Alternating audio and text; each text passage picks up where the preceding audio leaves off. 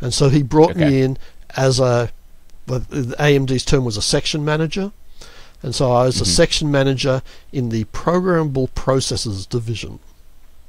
Right, Okay. responsible for, I thought, bit slice products.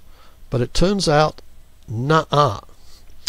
It turns out the department had a secret project that was unannounced to the outside world, which was a RISC CPU.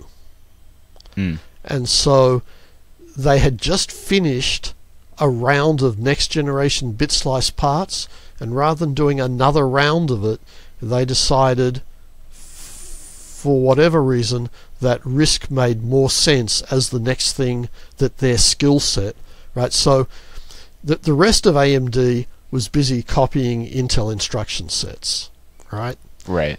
Whereas this group, the bit slice group, was designing instruction sets, right? Mm. And the RISC CPU would be designing an instruction set as well, right? So that's where it belonged, at least initially. Um, Right. and so they brought me in because of my bit slice experience of actually having built stuff. So bit slice in general, microcoded processors is not RISC at all. It's CISC, right? Mhm. It's you're building Right. That are below that implement the assembler language, right? Right. So would would the the bit slice components would they fit into the uh, the CISC processors as like a, a target essentially for the microcode inside of the larger Yeah, system? Right. Okay. So pretty much all of these bit slice parts were implementing CISC CPUs. okay. Right. So the bit slice parts are pretty much inherently not driven by assembler. They're driven by microassembler code or, or microcode. Mm-hmm. Right. And so you have Right. you know a, an instruction that might be 64 bits wide or lot or wider that's controlling all these different microcoded chips eh, concurrently.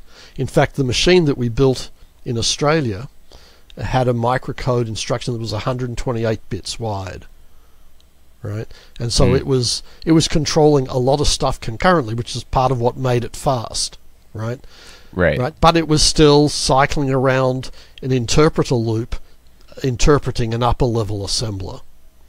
Um, Right. So, so anyway, I was coming in to work in the RISC group, but I'm the guy that doesn't believe in RISC, right? I'm I have immersed myself for at least the last five or six years on CISC type stuff.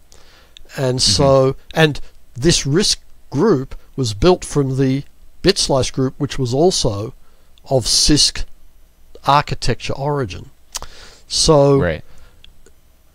the manager, when he brought me in, said, I want you to spend a few weeks going through all of their documents and analyzing it and tell me if we're heading in the wrong direction. Mm. right? Because I'm coming in as a very solid CISC type viewpoint and experience of actually building CISC CPUs. Is this RISC thing really better? Right. I, so I worked on it for two weeks, went through all the documentation they had, all their estimates of timing, the the instruction flows, whatever else, and at the end I said, I said to the boss, "This is insane, right? It's crazy to keep me doing this task. Put me on the risks team. This is the Yeah. future."